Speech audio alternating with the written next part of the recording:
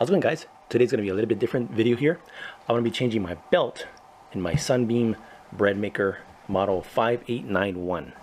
Yeah. Alright, so I took this apart a couple weeks ago. I'm not, not really gonna go through step by step.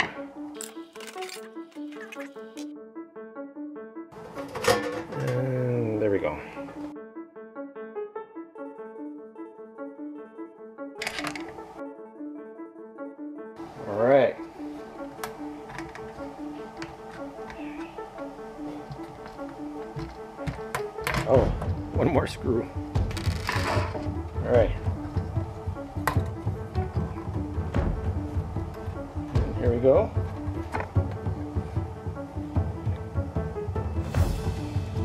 At first, I thought it was like grease coming out, but check it out. This is the leftovers of the belt.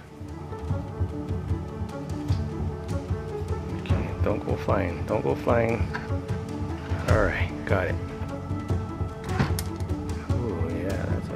Nasty. Nasty as it wants to be. Okay, well, what I'm gonna do, looks like it's gonna take a while, is I'm gonna clean all this area up and come back. Okay guys, it's all cleaned up. Yeah, it was pretty painful. It's, it's all gummy and stuff, so here is the new belt. Let's put it on the gear. Put on the bigger one first. Spot it on the small one.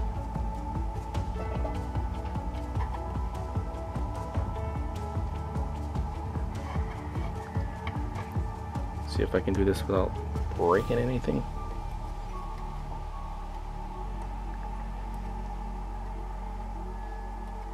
Hopefully it lines up somehow.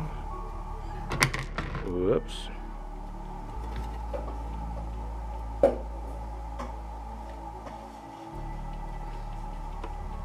There we go.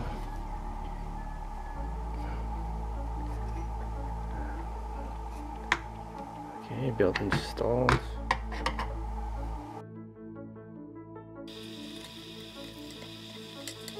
Alright. Clip is on. Belt is installed. Okay guys, I managed to get all the screws in. Only took until uh, nighttime. But yeah, let's see if this works. Let's see if it turns. Plug this in. Plug it in and see what happens.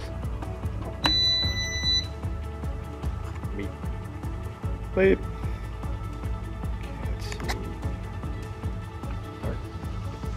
Start? Oh yeah. Oh, what? Okay, yeah, it's supposed to do that. It works, it works, it works. Let's make some bread. Make some bread. Awesome.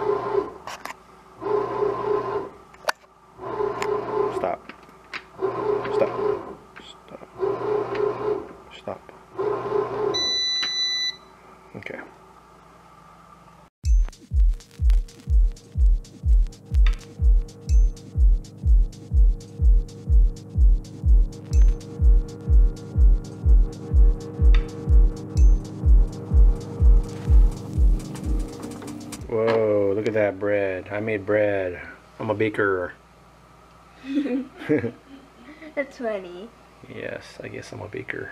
And a butcher. Nah. Cool. Alright guys, that's it. Thanks for watching. Aloha.